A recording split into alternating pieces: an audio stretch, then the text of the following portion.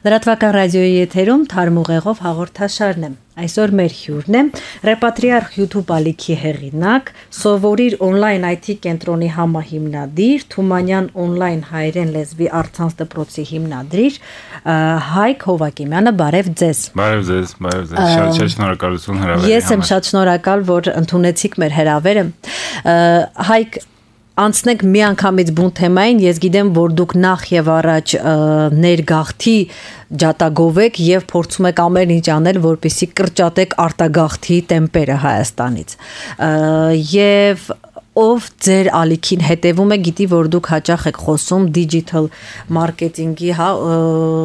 Ընդհանրապես դիջիտալ հա, մասնագիտությունների։ Այո, եւ ընդհանրապես դիջիտալ մասնագիտությունների մասին, որ ուսուցանեն մարդիկ եւ դա ըստ ձեզ կօգնի կրճատել արտագաղթը Հայաստանից։ Խնդրում եմ այս երկու արտագաղթի եւ դիջիտալ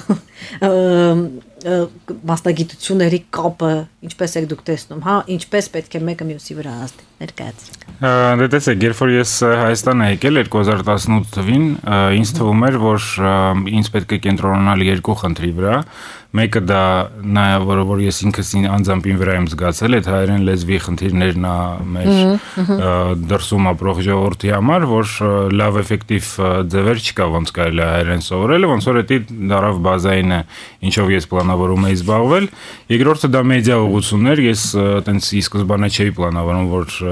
մեծ լսարան կունենամ բայց տենց ժամանակի ընթացքում հավաքվեց լսարանը ու ես հասկացա որ մենք տեղեկատվական դաշտում բավականին լուրջ խնդիրներ ունենք որովհետև Հայաստան Հայաստանում շատ-շատ տարբեր լրատվականներ զբաղվում են ուղակի ապատեղեկատվությունով ու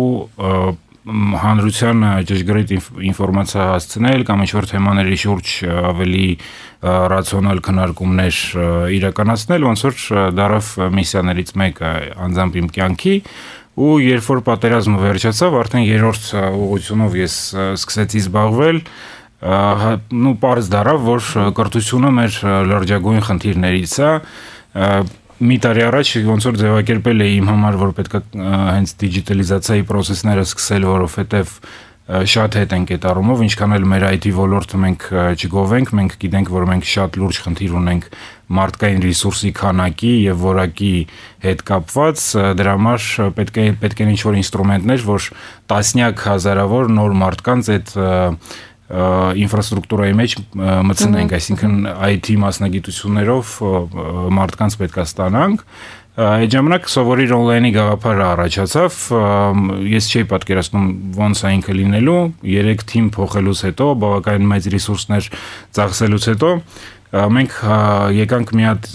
լուծում հասանք մի հատ լուծմանը, որը որ թույլ է տալիս շատ մեծ մասշտաբով ու քանակով մարդկանց վերապատրաստել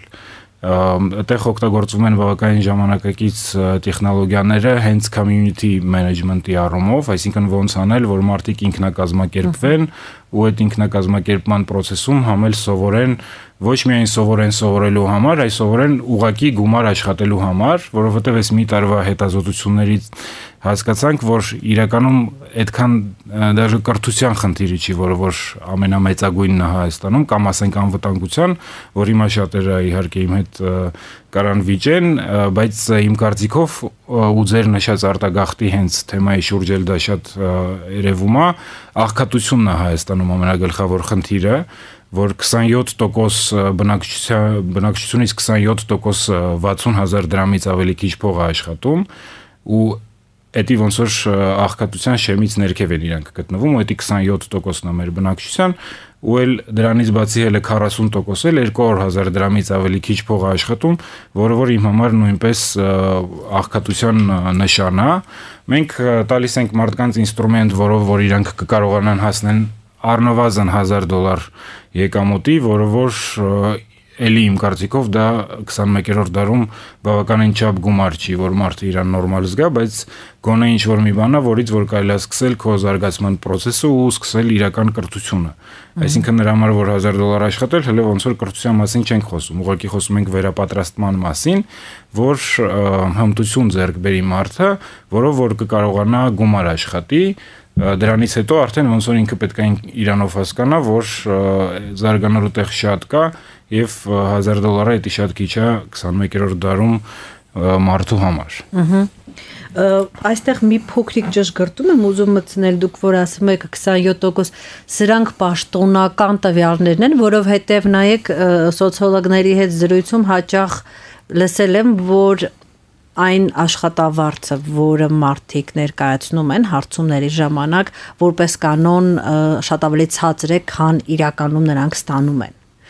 Այսինքն գուցե մի քիչ թվերն ավելի ես չեմ հերքում հա այսինքն միանշանակ անգամ եթե թվերը կրկնակեր բարձր լինեն դա հերիք չի դա միևնույն է աղքատություն ես միանշանակ համաձայն եմ ձեր հետ իհարկե մեր մոտ վիճակագրության հետ շատ լուրջ խնդիրներ կան երկրում ճիշտ ասած, եթե ցանկացած ուղղությունով սկսենք վիճակագրություն հավաքել, կպարզվի, որ ինչ որ ուղղություններ կան, որ ասենք 2018 թվից կամ 19 թվից հետո ընդհանրապես գործ չի արվել այդ ուղղությամբ, այսինքն ուղղակի թվեր չկան, որով որ կարողանանք հասկանանք ինչ սիտուացիայում ենք։ Ինչ վերաբերում է աղքատությանը, հա, իհարկե շատ մարդիկ կլինեն, որ իրանց աշխատավարձը ճիշտ ձևի չի գրում, այսինքն դրա պատճառով երևի ավելի շատ տոկոս է տեղանգնում դրա մեջ, բայց կարծում եմ այն մարդիկ, որոնք որ ասենք ասենք 200.000-ից ավել են փող ստանում, երևի արդեն իրանք սկսում են գրել իրենց աշխատավարձը ոնց որ կա կամ կամ չեն գրում, չգիտեմ, բայց այն որ հա, Հայաստանում ահռելի մեծ տոկոս մարդիկ աղքատության մեջ են ապրում ու դա կարող լինի 60000 դրամ, 200000 դրամ, նույնիսկ 300-400 դրամը էլի իմ կարծիքով դա աղքատության ոնց որ ինչ որ նշան է դա ոնց որ միանշանակ է, այսինքն հիմա 27% դա կլինի 15% էս թվի մեջ կամ եւ այլն, բայց երևի մի 70% դա հաստատ է, որ իրանք չեն աշխատում բավարար չափով գումար, որ կարողանան լավ կյանքով ապրեն, այսինքն Կանտոնված ցուցանիշ չէ, եթե դուք աշխատավարձի 60%-ը եւ ավել ծախսումը սնունդի վրա, անկախ նրանից թե դու ինչ ես ուտում եւ ինչքան ես ծախսում, դու համարվում ես աղքատ։ Հա։ Այնպես հա։ որ այդ ցուցանիշով երևի անգամ ավելի բարձր լինեն տոկոսները իմ կարծիքով։ Հա, ու նման աղքատ ժողովուրդը չի կարա առնի իրան անվտանգություն, որովհետեւ անվտանգությունը դա փողով առնելու ոնց որ ինչ որ բան է, որ նրա համար որ ունենաս օրինակ բայրակտարի նման ծրագիր, պետք է 300 միլիոն դոլար փող ինվեստիցիա անես ու մոտավորապես մի քանի տարի, մի 3-ից 5 տարի հետազոտություններ, այսինքն դա ուղղակի աղքատ ժողովուրդը ոչ մի բան չի կարա իրան առնի, ոչ անվտանգություն, ոչ առողջապահություն, ոչ էլ կրթություն։ Նրա համար որ մենք լուծենք այդ սախ հարցերը, մեզ պետքա մարդկանց բացատրել ոնց իրանք կարան փող աշխատեն։ Հիմա այս վերջերս մարզերով եմ շատ-շատ գնում ու մարդկանց հետ երբ որ խոսում եմ, երբ որ իրանց հարցնում եմ որն է ձեր խնդիրները, իրանք տարբեր խնդիրներ են նշում, բայց երբ որ իրանց ասում ես նրա մասին քանի մարդ գիտեք, որոնք որ արտագաղթել են ձեր գյուղից կամ ձեր քաղաքից, նրա պատճառով որ ստեղ գումար չեն կարողացել աշխատեն, տենց մարդ չկա, որը որ ձեռը չբարձրացնի, այսինքն բոլորը ինչ որ ծանոթ կամ իրանց մոտիկ բարեկամ ունեն, որոնք որ արտագաղթել են դրա պատճառով։ Ինչու է տենց, որովհետև մենք ապրում ենք այս փոփոխվող դարաշրջանում, երբ որ մարդիկ ոչ թվային աշխարից մտնում են թվային աշխարհ, ու մարդիկ ունեն ինչ որ հմտություններ ոչ թվային աշխարհում գոյատևելու համար, ասենց ասեմ, որտեղ երբ որ մարդիկ գնում են խոպան աշխատելու, իրանք այնտեղ չեն ապրում լիարժեք կյանքով, իրանք գոյատևում են առնվազն 5-ից 5-7 տարի, միջև ինչ որ մասը իրանցից կարողանում է ինչ որ հաջողության հասնի, բայց ահռելի մեծ մասը էլի ապրում է շատ դժվար կյանքով, այսինքն դա էլ հեշտ ճանապարհ չի, էլի, այդ արտագաղթը։ Այդ խոպանի մի երևի զգալի տոկոս ինձ թվում է եթե շատ լավ մտածեն կարող ենք տրաֆիկինգի մեջ էլ մտցնել, որտեղ հա։ շատերը գնում են եւ ստրուկին հավասար աշխատանք են այո, կատարում։ Այո, ու շատերը չեն հասկանում, որ 21-րդ դարը իրանց բոլոր հնարավորությունները տվել է, նրա համար որ իրանք կոնկրետ հմտություններ ձեռք բերեն, որ որ այդքան դժվար չի, այսինքն երբ որ մենք խոսում ենք դիջիտալ մարքեթինգում օրինակ կոնկրետ հմտությունների մասին, որ որ մարդ կարա ձեռք բերի, մենք չենք խոսում ինչ որ տիեզերքային տեխնոլոգիաների մասին, դա ուղղակի ոնց որ ասենց ասեմ, կաֆել խփելուց շատ ավելի բարդ գործ չի, այսինքն որ դու հիմա սա ես սովորել, կարաս նա սովորես, բայց մնաս քո գյուղում, քո համայնքում տենց շարունակես ապրես, հələ մի հատ էլ փողը դրսից կգա ստեղ, որտեվ մեծ մասով մենք պատրաստում ենք մարդկանց, որ իրանք կարողանան դրսի շուկաներում փող աշխատեն։ Շատ լավ, մեր ռադիո լսող երիտասարդը հետաքրքրվեց ձեր առաջարկով, ինչ նա կարող է անել, ինչպես է ձեզ դիմում, ինչ պայմաններ են, խնդրեմ։ Տեսեք, սովորիր կետ on-line հարթակ մտնում մարդ կարա մտնի, այնտեղ ամեն ինչ պատմում ենք ոնց անցնում ուսման process-ը, նաև մարդը կարա ստանա դասընթաց լրիվ անվճար առաջի դասընթացը, որտեղ որ կպատմվի արդեն մանրամասն ինչ է իրանից մասնագիտությունը ներկայացնում, ինչ հնարավորություններ մարդ ունի, այսինքն կբացատրի ուղղակի այսօրվա դրությամբ ամենաակտուալ ինֆորմացիան, որով որ մարդը որոշում կկարողանա կայացնել ինքը այդ ուղությամբ ուզում է զարգանա, թե չի ուզում զարգանա, եւ ուզում եմ այստեղ շատ կարեւոր մի հատ բան նշեմ, որ տեսեք, երբ որ մենք digital marketing-ի մասին ենք խոսում, ընդհանրապես 20-րդ դարում գոյություն ուներ միաթմտություն, առանց որի որ մարդ հաջողության չէր կարա հասներ, դա գրելու կարդալներ, այսինքն եթե դու գրելու կարդալ չգիտեիր, 99.9% դեպքերում, եթե դու սպորտսմեն ես կամ ինչ որ, չգիտեմ, ուրիշ մարդ որտեղ որ պետք չի գրելու կարդալ, դու հաջողության չես հասնի։ 21-րդ դարը տարբերվում է 20-րդ դարից նրանով, որ ինքը թվային աշխարհ է։ Այսինքն հիմա փոխվել է արդեն, ավելացել է այդ գլխավոր հմտությունին մի այլ հմտություն, որը մոտավորապես sense կարելի է ձևակերպել, կարողություն բանանել, ներկայացնել քեզ քո գաղափարները ու քո պրոյեկտները թվային աշխարհում։ Այսինքն, երբ որ մենք ինչ-որ գաղափար ունենք, պրոյեկտ ունենք ու մենք չենք կարողանում ներկայացնել դա թվային աշխարհում, կապ չունի, որ ոլորտում ենք մենք աշխատում, հա։ Սկսած բժիշկից, վերջացրած ավտոմեխանիկով կամ նույն մեդիա դաշտում, հա, մենք պետք է կարողանանք թվային աշխարհում ճիշտ ձևի մատուցենք այն ինֆորմացիան, որը որ մենք ուզում ենք մատուցենք։ Ու այդ հմտությունը բոլորի համար հավասար չափով անհրաժեշտ է, այսինքն բոլորը պետք է սովորեն բազային մակարդակով digital marketing-ը Դրա համար մենք հենց այդ ուղղություն ուղղությունից ենք սկսել, չնայած որ մարտ ամսից արդեն դիզայնի ուղղությունն ենք վերցնում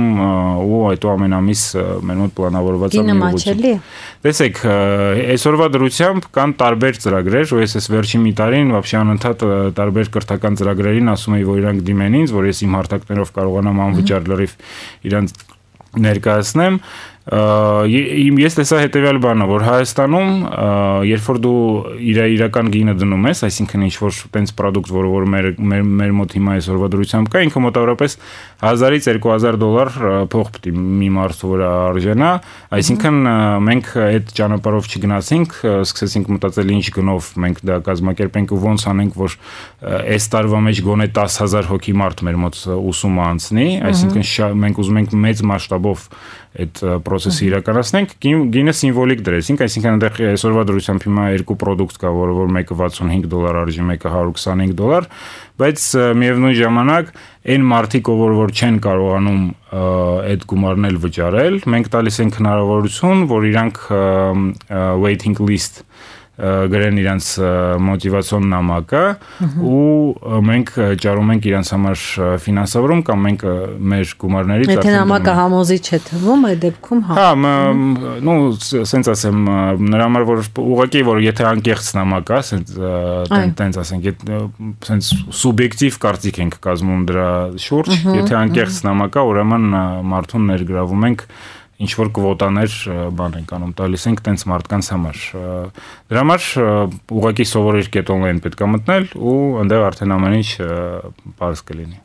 Շատ լավ, կրթության մասին ես գիտեմ, որ դուք անգամ մեծ ֆիլմ ռեպորտաժ եք հա արել կրթության մասին երկու այսպես ասենք իրարամերժ կարծիքներ կա Հայաստանում կրթության զարգացման ուղու հետ կապված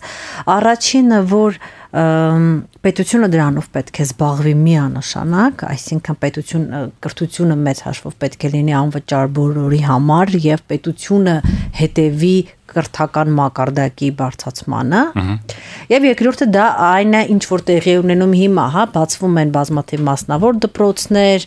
միտեղ որակը լավն է, միտեղ վատն է, գին տարբեր գնային համակարգեր, բայց այս դպրոցներին ընդդիմացող մարդիկ ասում են, որ եթե կրթությունն էլ էս թողում քաղաքացու վրա, քաղաքացու գրպանի վրա, այդ դեպքում դու ճունես էլ իրավունք զինակոչիկներ հավաքելու, հա, այսինքն դու ճունես իրավունք սարքել բանակ, որովհետև եթե ամեն ինչ քաղաքացին պետք է իր գրպանով ծնի եւ մեծացնի երեխային, ինչ իրավունքով ես դու վերջում այդ քաղաքացուն վերցնում, հա, դարձնում քո զինված ուժերի մաս, այսինքն առանց փողի, հա, պարզապես։ Հակառակողն էլ ասում են, որ ոչ, պետությունը իրավունք չունի խառնվել կրթության մեջ, Այսինքն պետությունը եթե խառնվի, կսկսի թելադրել իր պայմանները, իր տեսակետը, իր ուղին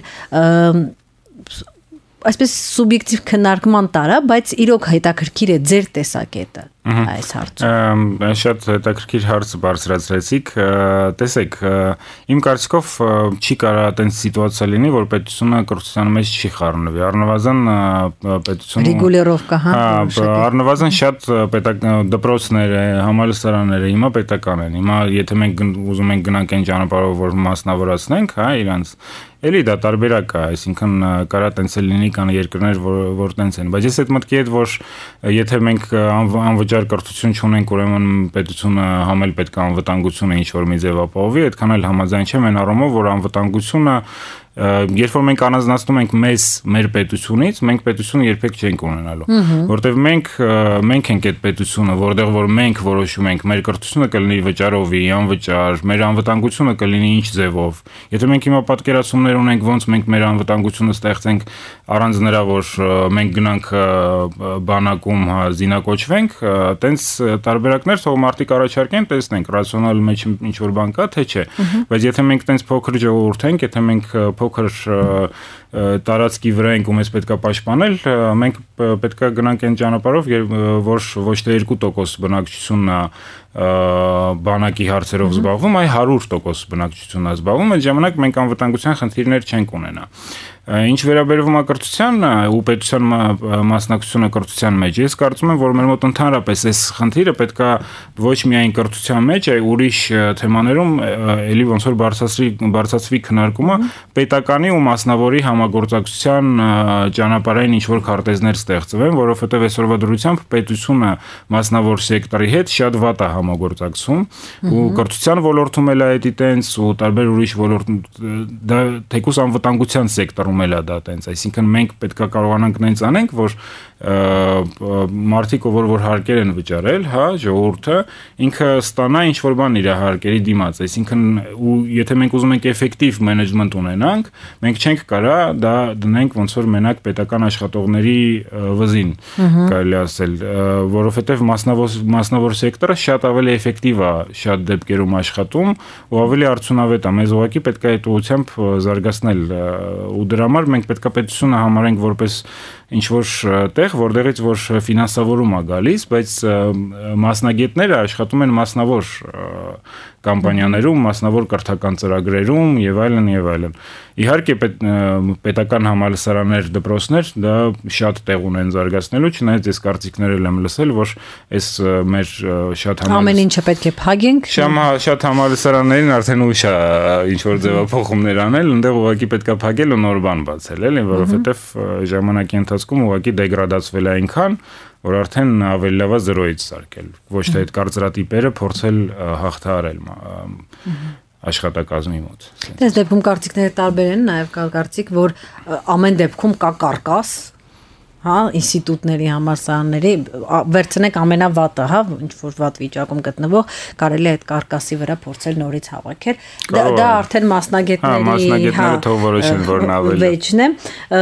Կրթություն, անվտանգություն այդ կապի մասին մի փոքրիկ բան էլ ասեմ եւ անցնենք առաջ, parzapes այստեղ ինչու են կապում կրթություն անվտանգության հետ, որովհետեւ երբ որ դու ունես մասնավոր կրթություն, այսինքն տարբեր գների մակարդակի բուհեր եւ դպրոցներ, հասարակության շերտավորումը շատ ավելի հստակ ազգացվում։ Ահա դա բերում է նաև նրան, որ եթե դու ունես ի սկզբանե արդեն շերտավորված հստակ հասարակություն, դժվար է ստեղծել մեկ ամբողջական հասարակություն անվտանգության հարցի շուրջ։ Այսինքն այստեղ մենք հավասար չենք, իսկ հենց հարցը վերաբերվեց անվտանգությանը, չգիտես ինչու հավասար ենք եւ դժվարել է պատկերացնել, որ ընդհանրապես կրնենք հավասար։ Սա է խնդիրը, երբ որ մարդիկ բարձացնում են մենք միջին կլաս չունենք, այսինքն մարդիկ ով որ կարողանան բավականին չափ գումար աշխատեն, որ կարողանան լիարժեք կյանքով ապրեն, հենց որ մենք միջին կլասը ստեղծվի ու երբ որ մենք կարողանանք այդ աղքատության շեմը մի ինչ որ չափով հաղթարենք, մեր մոտ կրթության խնդիրները կլուծվեն այն առումով, որ մեր հասարակության մեջ պահանջարկ կձևավորվի, որ իրանց գումարի առաջ ոչ թե միայն դիպլոմ ստանան, ոնց որ այսօր են ստանում, այսինքն հիմա գումար են վճարում, որ դիպլոմ ստանան։ Երևի ժամանակի ընթացքում պետք է հասկանան, որ գումար կվճարեն նրա համար, որ գիտելիք ստանան ու հմտություններ, որը որ կարողանան հետ բերեն այդ գումարը։ Հիմա մարդիկ են 100.000 դոլար տալիս Harvard-ում սովորելու համար ոչ թե մենակ դիպլոմի համար, չէ, այսինքն իրանք չեն համարում, որ չնայած երևի Harvard-ի դիպլոմը արժեր դաժե որ 100000 դոլար փոխտած դրա համար, բայց մարդիկ տալիս են ավելի շատ նրա այն կյանքի համար, որը որ տալիս է այդ դիպլոմը Իսկ եթե քեզ դիպլոմը խոստանում է դիպլոմը։ Հա, իսկ եթե քեզ այդ դիպլոմը ոչ մի բան չի տալիս, բացի նրանից, որ դու ծնողներիդ տանես կցույց տաս, կասես, տես, մամա, ես ստացա դիպլոմը, դաժե եթե այնտեղ սա 5 լինի մեջը, ու դու ոչ միտեղ գործի չես կարող ընդունվես, որ շատ-շատ դեպքեր ես գիտեմ անձամբ մարդկանց դա ուղղակի խայտարակություն է, ես ուրիշ ձև չեմ կարող այդ ոչ մի ձև բնորոշեմ։ Այսինքն այդ այդ համալսարանները հետաքննության process-ներով պետք է անցնեն ու հասկանան հասկանանք ինչի են մարդիկ, որոնք որ ավարտում են համալսարանները, տենց առելի տոկոսով չեն կարողանում գործի ընդունել։ Ու եթե մի քիչ վիճակագրության հետ ծանոթանանք, པարզ կլինի ինչի չեն կարող, որովհետև իրանք պատրաստում են մասնագետներ, որ ու շուկան չունի պահանջարկ։ Աշխատաշուկան պահանջարկը չկա։ Իրանք ուրիշ մասնագետներ են պատրաստում, իսկ աշխատաշուկան ուրիշ պահանջարկ ունի։ Եվ վերջին թեման մեդիա դաշտի մասին։ Դուք մեդիա դաշտի արդեն կարելի ասել անկակտելի մասն եք Հայաստանի։ Ինչպես է գնահատում։ Պատերազմից անմիջապես հետո ինձ ինչ որտեղ հասկանալի էր այն բևեռացումը, որ տեղի ունեցավ, որտեղ հետ պատերազմյան շոկը բնական process է, զայրույթը, ագրեսիան նույնպես բնական process է։ Այսօր որոշակի հանգստություն, թեթևություն տեսնում եք, թե խնդիրներ կան այնուամենայնիվ։ Տեսեք, դե parza որ մի տարի անց հետո արդեն պատերազմից լրիվ ուրիշ իրավիճակ կա մարդկանց այտենց էմոցիոնալ վիճակը եւ այլն, Բայց միևնույն ժամանակ կարծում եմ, որ մեր խնդիրները այս մի տարվա մեջ չեն ձևավորվել, մեր խնդիրները ձևավորվել են այս վերջի 30 տարվա մեջ, вообще ոնց ենք մենք մեդիան անցալել Հայաստանում ու մեդիան եղել է ուղղակի ինչ որ գործիկ, ինչ որ մարդկանց ծերը մեծ մասով, որ ուզեցել են իրենց քաղաքական ինչ որ խնդիրներ լուծել չի ձևավորվել շատ քիչ քանակով, ասենք, ձեր աշխատանքը դա կարելի ասել ինչ որ ունիկալ կողմերից է вообще Հայաստանի մեդիա դաշտի չի ձևավորվել մեդիա, որը որ կունենա ինչ որ բազային նորմեր, բազային պրինցիպներ, ոնց ինքը պետք է աշխատի ու սпасարկող կարելի ասել բնույթ է կրել մեդիա մեդիայի աշխատանքը։ Հետաքրքիր է որ ձեր այդ դու փորձում եք լինել կառուցողական, բայց ձեր կառուցողականությունն էլ շատերի կողմից գնահատվում է որպես կողմնակալություն, հա, ես ինձ թվում է դուք էլ հաստատ մեկնաբանություններում լսել եք, որ դուք իշխանական ռեժիմի սпасարկում եք կամ ֆոն մեծահարուստների բոլոր ռեժիմների սпасարկումը լսել եք։ Պակասված բալցեմ, հա, սпасարկուն եք։ Այսինքն ամեն դիրքորոշում, որը սուր արտահայտված չի, ինչ որ ձեր գիծն եք փորձում տանեք, դա միանգամից ձեզ անվանում են որոշակի ուժերի սпасարկու։ հա։ Դուք սпасարկու եք Ես ես սпасարկում եմ մենակ Հայաստանի Հանրապետության ոնց որ շահերը, շահերից բխող ինչ որ ընթացքներ, տենց կարելի է ձևակերպել, ինչ վերաբերում է սпасարկելը, չսпасարկել, ես սենց եմ իմ համար որոշել, մոտավորապես 4 տարի առաջ, երբ որ ես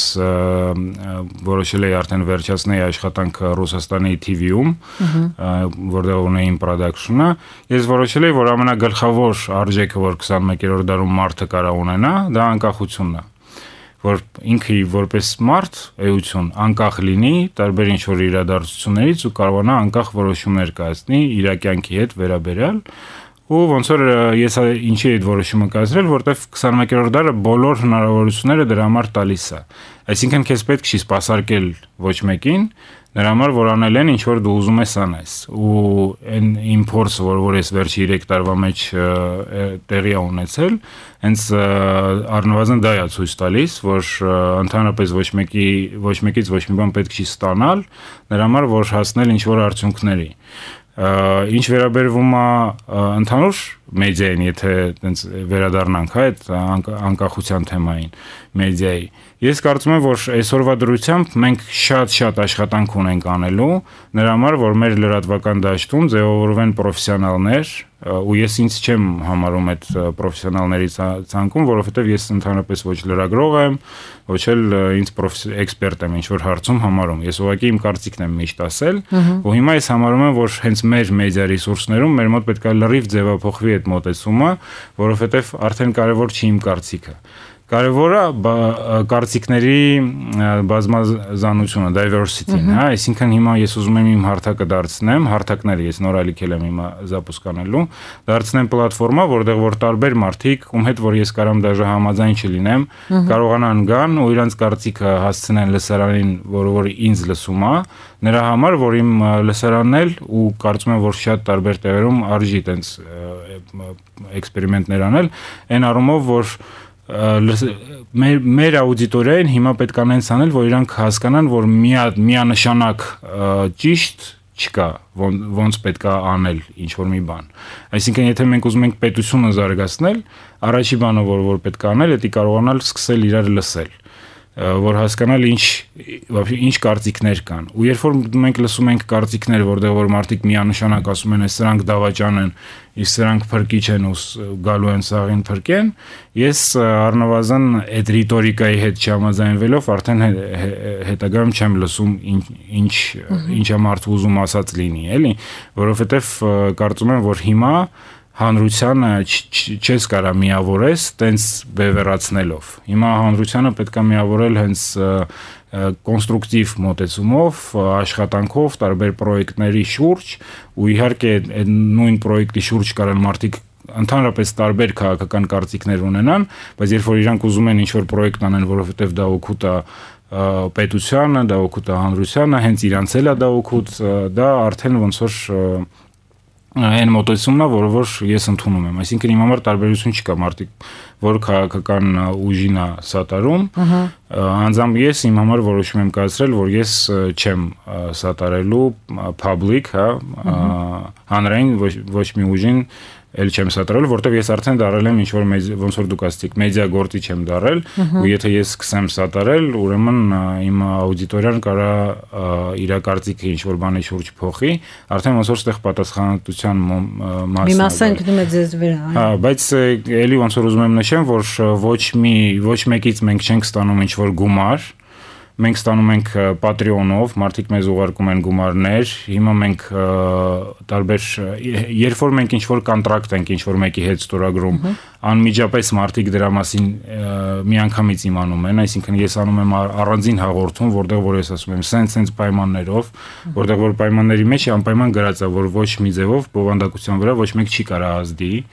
անպայման դա գրած է ու մարդիկ միշտ իմանում են։ Մեր հաղորդումը մոտենում է իր ավարտին, Այդուհանդերձ վերջին հարցը ուզում եմ տալ, երբեմն հատկապես Հայաստանում սոցիալական ցանցերից օգտվողների մոտ այնպիսի տպավորություն է, որ երկրում ոչինչ գրեթե չի արվում ոչ մի կողմից բայց ես գիտեմ որ դուք հաճախ եք հանդիպում մարդկանց որոնք իրենք իրենց ինչ որ բաներ են սկսել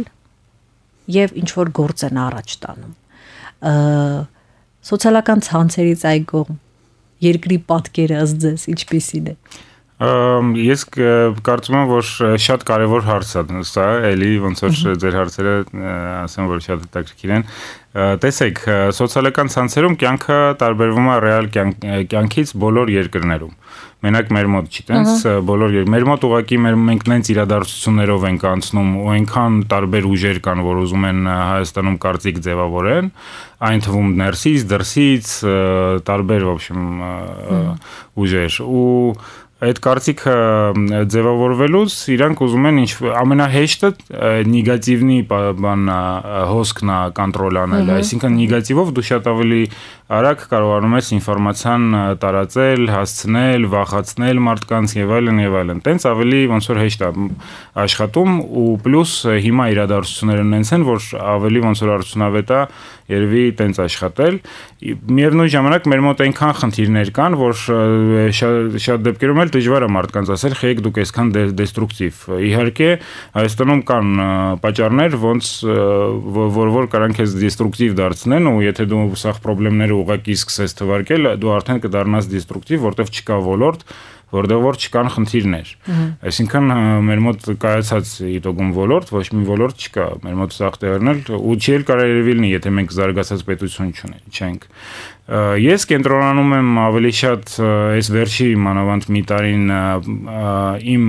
մեդիա ոնց որ հարթակներում ավելի շատ կոնստրուկտիվի վրա, որովհետև տենալով ռեալ կյանքում այդ դեստրուկտիվի քանակը, ես հասկանում եմ, որ դա արդեն ազգային անվտանգության վրա կարա ազդի, այն առումով, որ մարդիկ ուղակի այդ հոսքը չեն կարողանա ճիշտ ձևի ընկալեն ու հուսահատ կլինեն ու ձեր ձերքերը ոնց որ ներքև քիչացնեն ու կգնան ուրիշ երկիր կապրեն, որովհետև կկարծեն, որ հնարավոր չի ինչ որ բան անել։ Դրա համար ես փորձում եմ ցույց տամ այն մարդկանց, որոնք որ ամեն ինչ այդ ամեն ինչը հասկանալով, թող այն մարդիկ, որոնք որ տենց հուսահատ են եղել, տենց կրիտիկական են մոտենում իրավիճակներին եւ այլն, չմտածեն, որ մենակ իրանք են հասկանում մենք ինչ իրավիճակում ենք գտնվում։ Բայց դու կարաս որոշում կայացնես, դու ուզում ես շարունակես տենց մարդկանց տենց ձևի մատուցել, որ ոնց որ всё пропало, կամ էլ դու կարաս ինչ որ մի ձև գտնես ճանապարհներ մարդկանց բացատրես, ինչ կարելի է անել, որ սիտուացիան փոխվի իրադարձությունները փոխվեն։ Հիմա ես ոնց որ այդ ճանապարհն եմ ընտրել, կարծում եմ դա ավելի պրոակտիվ է, այսինքն հիմա ուշադրություն դարձնենք այն մարդկանց վրա, ով որ ակտիվ է ուզում է ինչ որ բան փոխի ու իրանց աջակցենք, այդ մոտեցումն է։ Այդ մարդկանց տրամադրությունով էլ իրականում ես կարողացել եմ այս վերջին մի տարին ապրեմ, որովհետև իրոք, եթե մենք մեր իրադարձություններին նայենք, մեծ հարցականա ընդհանրապես մեր ապագան ոնց է լինելու։ Այսինքն մենք պետքա շատ աշխատենք հիմա հենց հիմա ոչ թե վաղվա վրա գցենք այդ աշխատանքը հիմա շատ պետք է աշխատենք որ կարողանանք կերտել մեր ապագան ավարտել մի փոքրիկ դիտարկում անեմ օրերս այդ գիրք նվիրելու օրվա կապակցությամբ գրախանութներից մեկում խնդրեցի հայտնի հոկեբան կա Վիկտոր Ֆրանկլ իր գիրքը ասել կյանքին այո գրքում հոկեբանը ներկայացնում է համակենտրոնացված ճամբարում անցկացրած իր օրերը եւ խոսում նրա մասին թե ինչն էր իրեն ուժ տալիս ապրել եւ իմաստ տեսնել ամեն ինչի մեջ շատ հետաքրքիր էր ոչ միտեղ չէի գտնում եւ վաճառողին երբ հարցրեցի ասեց վայ զզվացրեցին բոլորն այդ գիրքն են ուզում հենց ստանում ենք վերջանում է միանգամից այսինքն կա պահանջարկ մարդիկ ուզում են լույս տեսնեն, մարդիկ ուզում են պայքարեն։ Հիմա չգիտեմ ինչքանով է մեծ այդ պահանջարկը, բայց ինքն այնուամենայնիվ Կարծում եմ, որ բավականին մեծ է այդ պահանջարկը։